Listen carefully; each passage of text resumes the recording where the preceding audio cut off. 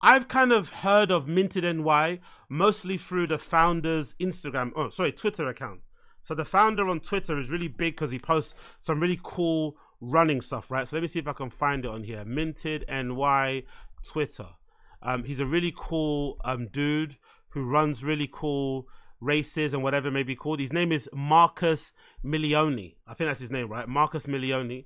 He has this brand called Minted, which essentially, you know, maybe the brand itself isn't the most interesting you know, voice wise, it's kind of what you'd expect um, from like a New Yorker guy, right? Type of thing in terms of that kind of menswear preppy look with like um, penny loafers and slacks and varsity jackets and you know um, short sleeve button ups and shit. It's it's a particular type of vibe, right? You know what I'm talking about. If I if I get the actual store up for you, but the guy's Twitter account is really cool. He's in that kind of group of like menswear streetwear founders who are into running. I think there's a lot of them now. I don't know what that is all about. There's a whole.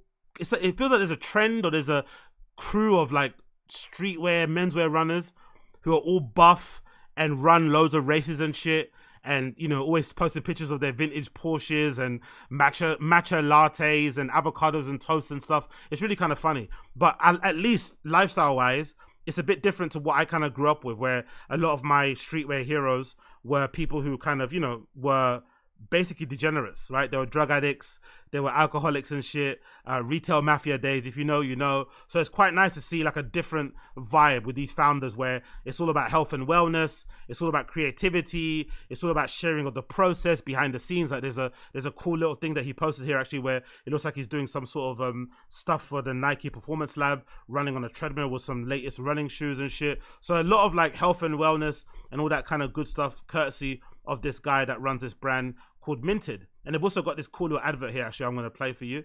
Let me actually get this up on you so you can hear this advert. This is actually a cool advert for the actual shoe itself. The title is uh, Minted in New York and Saucony Pro Grid Triumph 4 released on May 11th from 12 p.m. at the pop up and online on May 15th. So let's watch the little advert they put together for the actual shoe they did with Saucony.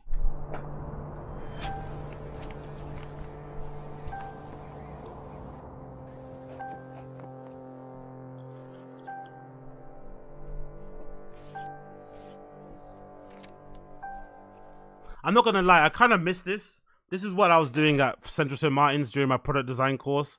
I kind of miss sketching. I kind of miss this, you know, ideation side of things.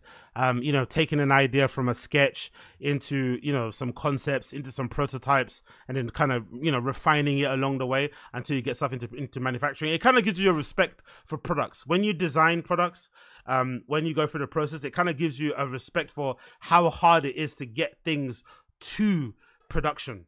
It's very difficult, and sometimes you make loads of um, edits and changes to make the production process easier, which sometimes can impact the overall look and style of something that you make at the end. And sometimes maybe negatively hamper it as well. But sometimes the customers don't know that because they just expect the thing to come, you know, look the way it does. So it's usually a really hard process. So I love that the fact that they are giving us this behind the scenes look at how they came up with the idea of this um, runner that they did together with Saucony.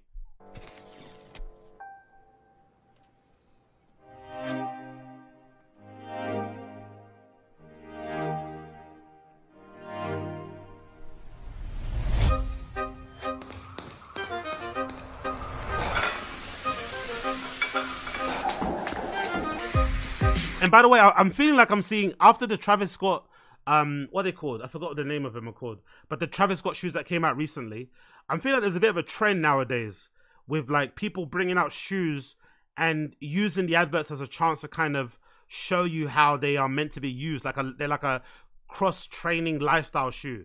It's, it's which I love because my favorite era of like training shoes is definitely like 80s 90s kind of like like nike air trainer type of vibe bo jackson type of vibe of shoes that could are basically multi-purpose. They can work on a basketball court they can work playing football they can work playing you know weightlifting whatever it may be all those type of things included involved in it. And you're seeing a lot of this kind of in a lot of the kind of adverts and stuff happening with shoes nowadays. You obviously see it with the stuff that Nigel Sylvester does with his BMX and other bits and bobs. You're seeing with this, you're seeing with the Travis Scott stuff. There's a lot of like cross training lifestyle. Hey, you can wear this to the gym, wear this to the club, wear this to whatever, all over the place. I quite like it.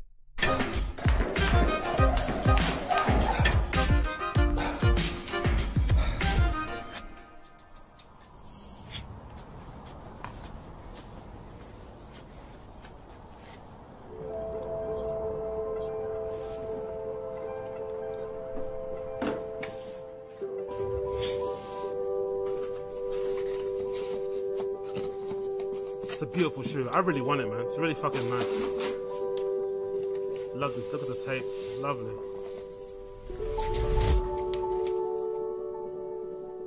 So that's that's obviously that, and obviously to give an idea on the brand and what they look like. Do you have the Do you have the apparel? Cool. This is it. This is the brand as well. Let's go on his website for minted. Oh, it's actually closed now. You can't see it, but let's go on the Instagram. Let's see if we can see some images of the clothes. So I can give you an idea on what they kind of look like aesthetic wise. But again, like I said, think menswear, think APC, uh, think a you know ALD, uh, yeah, um, that kind of style of clothing. As you can see here, some regular hoodies and sweats, but you've got some nice varsity jackets as well here. You've got some nice um, cut and sew pieces right? You've got some decent little bits here and there that Minted do. And you know what's really funny about this collaboration? This is probably the first time, and I love actually this hat is really nice too. The Flex Department hat, nice white slacks there. Um, this is probably the first time where a sneaker collab has made me more interested in checking out the brand's overall offering. Because it usually works the other way around. Usually you're already a fan of the brand's offering, and then when they do a sneaker collab, it makes you, oh shit, cool, they get to do a collab because um, if I'm not mistaken, sneakers or footwear is the hardest and most expensive um, thing to do when it comes to apparel and clothing, whatever that kind of field is. It's a harder thing to produce. So that's why a lot of brands would rather collaborate with a footwear manufacturer or footwear brand as opposed to do their own. It's really expensive to do. Um, and obviously, you can get your ideas out better with someone who's already got their own systems and infrastructure set, set up. But usually, like I said, most of the time, you're already a fan of the brand and then you're hyped that they're doing a footwear collab. But in this respect, I'm not really too familiar with the brand, but I saw the, but I'm familiar with the founder. But then I saw the shoes, and I'm like, oh shit, the shoes look cool. Now I'm into the brand, so it's kind of the opposite way, which is kind of a cool way to kind of approach and kind of come into the brand. Anyway, all of that being said, the shoe itself is gorgeous. Saucony minted NY link up for this Pro Grid Triumph 4 collaboration. And to be honest as well, not to bring other people involved in this, but I feel like this shoe is what people were hyping the Hidden NY Asics to be. I think the Hidden NY Asics has become a little bit overhyped because I think Hidden NY is a bit of a shitty, you know, and a bit of a regurgitating platform anyway. So people were kind of shocked when they put out such a clean, modern colorway of a shoe without going all the bells and whistles. And because it's definitely the best thing they've done, right? They've not done anything better than this ever. So this was actually a really decent colorway of a shoe.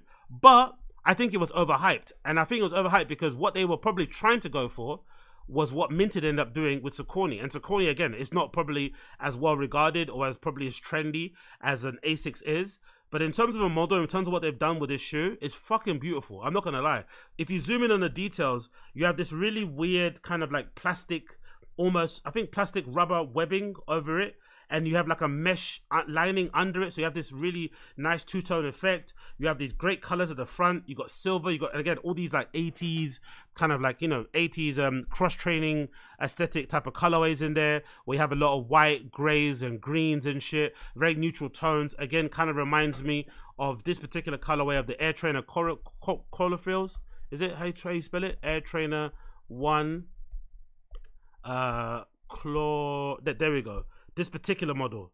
It kind of reminds me of this particular shoe and this particular style, um, where it's that this is like a classic quintessential 80s runner colorway of a shoe. So that essentially feels like where the inspiration may have come from. I'm not too sure if that's true, that's what I'm kind of running with. Um, so the colorway itself is fucking gorgeous. You got all these nice little hits there. You got the New York motif. You got the custom tongue. You got the custom little label at the back of the tongue. So nice little details all over the place. But again, what one of my cardinal rules when it comes to colorways free colorways or free colors are basically the way to go. And that kind of allows you to kind of create like a modern shoe a simple shoe without going crazy and making it look like you pop you know you fucking covered it in rainbows and shit. So you've got nice greens you've got grays you've got whites and that's basically it. Those three colors are done really well. And then they've also got this addition of almost like an off-white midsole it kind of reminds me of the days when I used to collect sneakers and we purposely um, use acetone on the midsoles to take away some of the painting so you could reveal the pure polyurethane midsole. And then that would age out really uh, that would kind of um, help the midsole to age a little bit better and darken. And that would give it the look of like a vintage shoe that was left in storage for ages. So i think that looks really fucking cool. And again I, have never really been interested in wearing a pair of Sauconys but i feel like this particular silhouette is fucking done very well. Even the instep and again th- th- this reminds me of like that Apple, it's kind of like an Apple thing. Apple have this thing where I think it's like a Tim, um, sorry, what's his name? Uh, Steve Jobs thing. I think in the autobiography or some interview, he mentioned where his stepdad would make him paint the fences around their house, but he was a stickler for making him paint the front of the fence just as good as he painted the back. And that design philosophy or that kind of philosophy in general is what kind of went into Apple. That's why when you open up Apple products, especially some of their laptops or phones, they have really beautifully, you know, designed and laid out circuit boards and shit. It just doesn't look like a hop, you know, been clumped together type of thing. So I like the fact that even though most people will only see the outside of the shoe, I love that the, the instep as well has been considered and looks really nice as well. You've got this amazing. I'm not sure what this is. I think it's like a plastic guard on the instep. I'm assuming when you. I'm assuming this arch lock is almost similar to Flywire, where when you tighten the laces around this sort of area, it helps to kind of keep your foot stable. So that's pretty cool. So I quite like that as well. And of course, you got this really nice arch support as well here. It's kind of an exaggerated arch, so maybe it might not be the shoe for somebody um, that has a very low arch. You might have to get an instep, an insole in there to kind of help. But in general, it looks fucking gorgeous. I'm not gonna lie, it looks really, really fucking nice. So I really like this shoe, and and I've also like the. This is a kind of a pet peeve of mine, but something a lot of people don't do. But I think I really like this. So on this particular shoe here, you've got reinforced. You've got one reinforced eyelet, and I'm assuming this reinforced eyelet is at the point of real tension. So I like that they've got one eyelet here reinforced with this little white silver ring, where I'm assuming maybe over wear testing, this is probably the one eyelet that was probably ripping too much, so they kind of reinforced it to make it stable, so it wouldn't kind of rip off too too easily. So I really like that look of it. And then they've also got some nice detail here on the back of the heel, a nice green hit again. You see the differences of the sole. You see the you see this kind of overlay, which is almost kind of plasticky on the outside. Looks fucking cool. This again reminds me a little bit of the Adidas Climacore is it Climacore? It was a shoe from back in the day that Adidas did. I think it's Adidas. Is it Climacore? Adidas Climacore trainers. It kind of reminds me a little bit of that. Yeah, there we go. So that that back heel kind of reminds me of this. These Adidas Climacore. So even that section of the arch support kind of reminds me of the Climacores and this little webbing as well. So that looks really cool. Um, and then we've also got another image here from the top, which is also my one of my favorite kind of angles for shoes to see if something actually looks great. And again, not overly pointy, not overly square, and a nice silhouette that you could probably wear again with training clothes. Um, obviously relax as well with your lifestyle shit as well. So I'm a big fan of that. Love it. Um, let's read the blurb. The blurb says a mesh lifestyle sneaker is still in full effect, regardless of the specific brand. It seems like oh okay. Anyway, Marcus Milin- Mil- Milinoni independent lifestyle brand has a knack for casual running apparel alongside everyday clothing pieces like hoodies, tees, mesh shorts, and canvas jackets alongside accessories like leather card holders. So teaming up here with the NY based label made sense for the style aptly matches the Pro Grid Triumph easygoing personality. The collaboration tosses the lifestyle silhouette in a clean hues of white, silver, deep beige, green, and off white as you can see here, mostly three colors. Um, the white hues grace the shoes mesh components, while the overlays are complete with metallic silver and deep beige.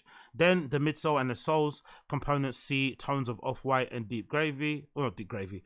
Jesus Christ, I'm thinking of gravy. That's some big back shit. Um, deep gray, rounding out the sneaker are minted and New York on the heels alongside the signature Saucony logo in green and silver. Retailing $160 USD, the Saucony minted NY Pro Grid Triumph is set to release online as Saucony minted NY on the 31st of May. So really check it out. I really do recommend him.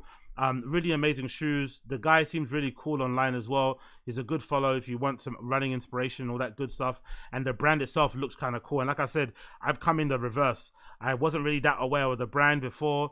Wasn't you know, necessarily a fan of what I saw posted, but now that he's released his shoes, I'm now looking at the shoes or the clothing with a little bit of a squinted eye, like, hmm, I like this. You know what I mean? So I love the stuff, love what they're doing, love all the background stuff you're seeing with people or with him especially showing you all the ideation or all the work that goes into making the brand. You got look posts regarding the work that goes into labels, that goes into some of the patterns they're using and the cuts and the prints.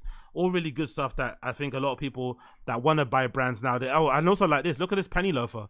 They've actually got a penny underneath the fucking thing. That's pretty cool.